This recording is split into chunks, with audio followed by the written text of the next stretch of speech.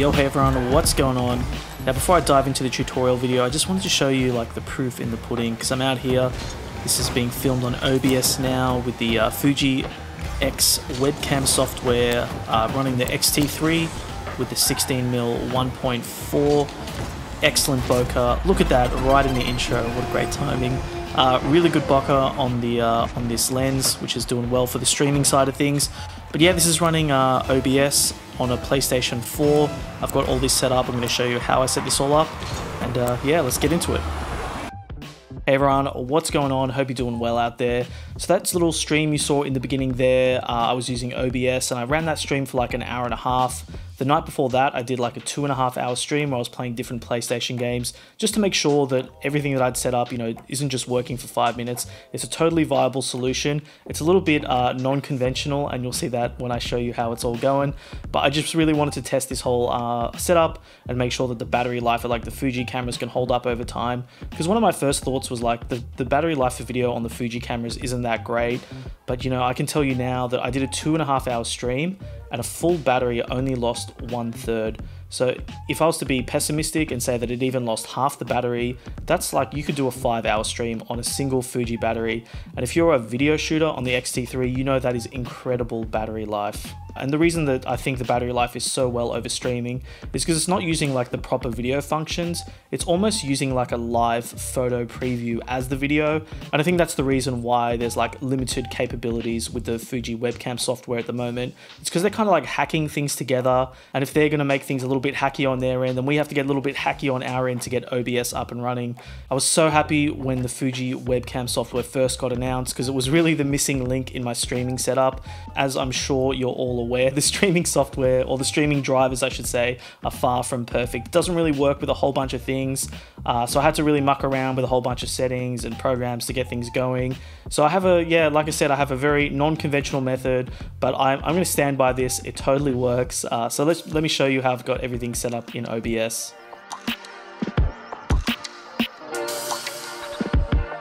So before we go into the OBS settings, I'll quickly just go over my camera settings, what I'm using to get things going. So another thing that was kind of weird is that like as soon as the software dropped, I started YouTubing people. I, I don't want to take pot shots at anybody specifically, but like so pretty much everyone that I looked at, their webcam setup was kind of horrible. Like it looked like they were using these sick Fuji cameras, but the end result was like, you know, a webcam. And I'm like, surely it can't look like that. And you know, when I uh, slapped the 16mm 1.4 here onto the X-T3 and I pulled up my scene with all the settings that I dialed in, things are looking good. This is like honestly the best scene that I've that you know I've actually seen.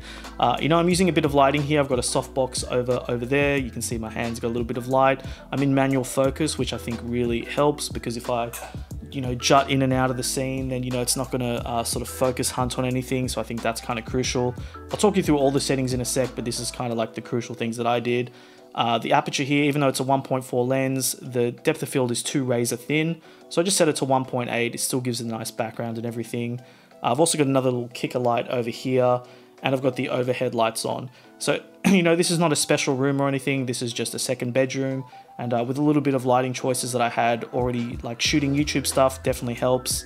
You know what, I'll turn everything off and we can see what it would look like for somebody who doesn't have external lighting. This is with this light off not a big difference. Probably could take it or leave it.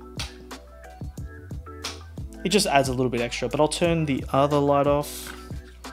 Set a remote here. So th this sort of scene is way too dark. I would offset the camera and do things differently, but you know, I've got this stuff on hand and it really helps out. And honestly, even when I was streaming with a webcam, I'm still using external lighting because it doesn't really matter what camera you're using. The lighting is going to help shape the scene and make things look a little bit better. So if you're into streaming, regardless of the camera, lighting is definitely key. So just had a look at all the camera settings I got here. The ISO set to 400. It's a 1.4 lens, which I've set to 1.8. And then the shutter speed I got set to 1 over 50. And I'm using 1 over 50 here because our monitors flicker in 50 hertz. Uh, you're pretty much going to be using 50 or 60. I find that's just going to work for most people.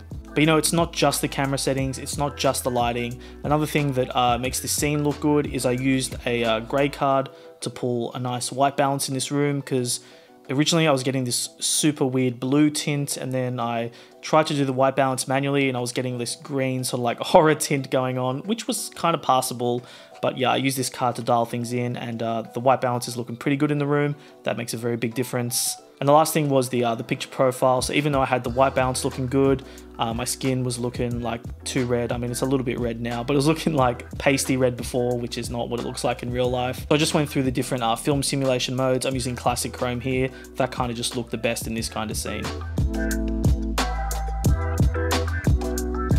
Alright, so here I've got OBS and we're just going to quickly uh, create the scene that I had there in the intro and all that was was the PS4 in the background and then the Fuji webcam in the foreground. So I've set up a new blank scene here we're just going to add the elements.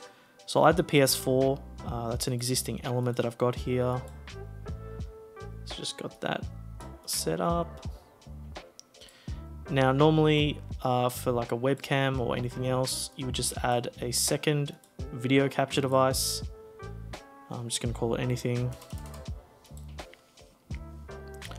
So here we've got our drop down of uh, different things. And uh, if I go down, I'm just going to choose something random first. So I'll just do this Elgato thing. Uh, so we can see it does that. Elgato does that. So it's trying to use whatever we're, we're telling it to use, but for some reason the Fujifilm one at the moment is really bugging out where it doesn't even change.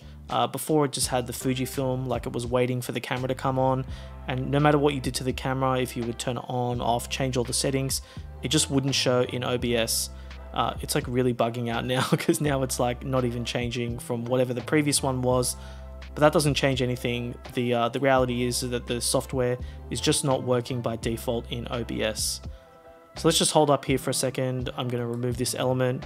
Just to prove that it does work, I'm going to open up Zoom and we'll take a look at the, uh, the webcam software working inside of Zoom. Now I should mention there's a weird intricacy to this whole thing where you actually need to close OBS and open up Zoom first for it to work. I guess it's like competing for the driver or something. I don't know why it does this, but it's just what I found in my testing. So I've just got Zoom open, I've closed OBS, I'll go into the video, and here we have it. We can see a preview of the video. Uh, so I'm just going to close that. I'm just going to go, I'm going to start a meeting. And that opens up a box over here. So we're not going to join a meeting. And you know, I've got the camera set up to uh, full manual focus, so I can change the focus there. I'm sure that's great on screen at the moment. So I've dialed in the focus. I'm to open OBS back up now. And uh, we've got our scene here. Now, you know, we've got the PlayStation scene here and we've got the Zoom scene over here. So uh, the little hacky method that I came up with is by doing a display capture.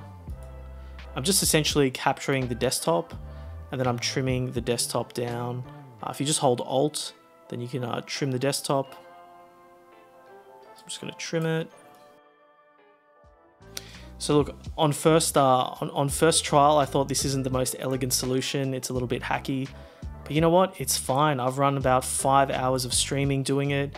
It has totally held up. The battery life on the Fuji X-Cam has been totally fine. And you know, it's looking great, you know? It might seem a little bit hacky because I'm just screen capturing the, uh, the desktop, but you know what? It works, and it works great. Uh, of course, if you come along here and you move this, then that's gonna happen. So it's not the most like elegant solution, but uh, realistically, if I'm streaming, I'm happy to just leave the window there. I've actually got a second monitor, which I just don't use for streaming. So I'll uh, put this on the second monitor. And then I've got a whole desktop monitor to do whatever I need to do during the stream. Yeah, obviously I know it's not the best of methods. It's very, very hacky, but at the same time it worked. Uh, I had some suspicions that things might not work, which is why I wanted to run like five, six hours of streaming before I film this video and put it out there.